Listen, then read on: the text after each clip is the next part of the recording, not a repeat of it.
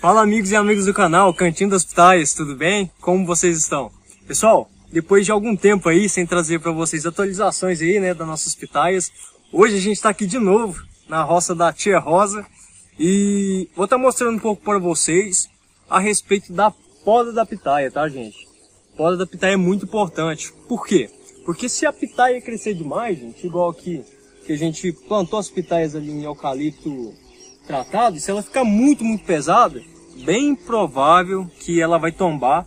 E não é isso que a gente quer, né, gente? Então a gente tem que estar tá cuidando, tem que manejar corretamente, podar corretamente. Ah, plantar pitaia não dá trabalho.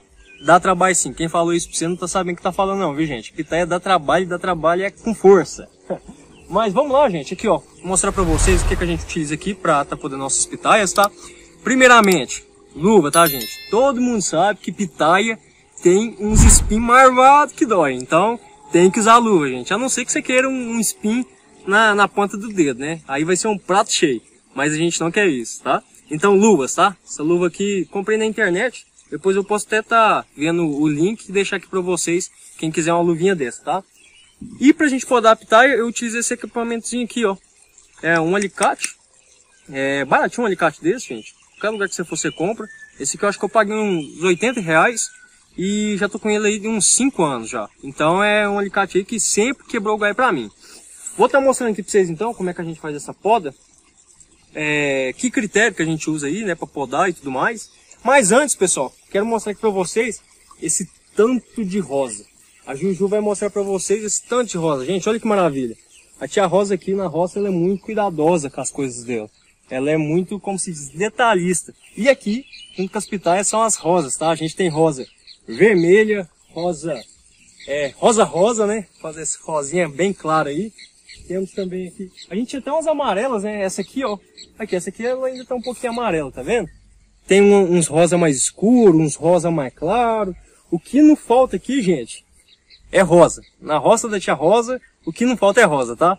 É... Pessoal, vamos lá pro que interessa então. Vou mostrar aqui pra vocês como é que faz a poda, tá? É... Como vocês podem ver, gente, olha o tanto de, de pitaia aí que amontoou, tá? Uh, esse pé aqui, ele tem três variedades. As variedades que tem nesse pé é da Golden Isis, da Golden Israel e da Branca Comum, beleza? É, como que eu vou saber qual é qual? Aqui no caso aqui, como eu já estou no ramo da pitaia há algum tempo, pelo cladode eu sei qual é qual, tá gente? Mas isso é assunto para outro vídeo. Vou estar tá mostrando aqui para vocês qual que é o critério, né, de poda. Vamos, vamos de cá, para mim estar tá mostrando aqui para vocês. Pessoal, o critério é o seguinte. Se a gente tem um galho, o ideal é que esse galho ele fique mais comprido, até aqui embaixo. Caso nesse galho principal ele tenha brotos laterais, a gente retira esses brotos, a fim de deixar somente um galho como esse aqui. Tá vendo? Então aqui, ó, como que a gente pode ver, ó, esse aqui é porque eu já podei, mostra pro pessoal ali o tanto de, de, de muda aí que dá pra fazer com essas podas aí. Eu já podei, não é um caso específico. Quer ver? Deixa eu ver se eu acho um aqui. Ah, aqui, ó, beleza. Vamos lá. Pode vir bem de cá, Júlia. Como vocês podem ver, gente, a gente tem esse, esse cavalo aqui, né? Esse aqui é da branca. E aqui em cima, pessoal, a gente tem um, dois galhos aqui sobrando, né? E isso aqui para nós não interessa, não é muito bom, porque senão vai virar bagunça aqui. A gente sempre quer galhos únicos, galhos que descem e façam o guarda-chuva de forma, como se diz, é, harmônica, né? Visualmente. A gente precisa de algo bem bonitinho. Nesse sentido, gente, a gente vem cá, ó. Vem aqui na pontinha, ó. E corta. Tá vendo? Aqui, ó. Tá vendo como que é importante ter as luvas, ter o equipamento certo? É muito simples, gente. Cortou, como se diz, separa ali e vai fazendo isso. Em cada, em cada, cada pé. Aqui, ó. Aqui cortei também, ficou um galho só. Tá vendo? Pessoal, isso aqui é um vídeo bem rápido mesmo. Pra tá mostrando aqui pra vocês, tá? Como é que faz essa poda.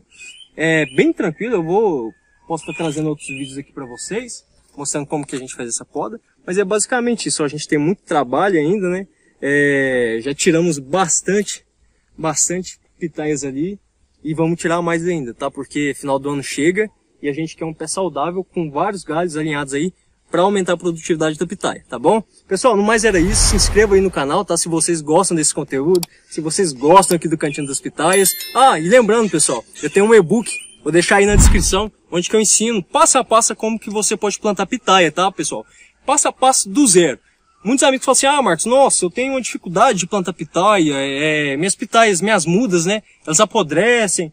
Pessoal, nesse e-book eu vou ensinar para vocês tudo, tudo, passo a passo, desde a muda pequena até formar a copa, tudo certinho. E-book muito bom, viu gente? E-book, eu acho que é um e-book mais completo do Brasil no ramo da pitaia. Então acesse o e-book aí e adquira o seu, beleza? No mais era isso, pessoal. Se inscreva no canal. Abraço, fiquem com Deus. Até mais.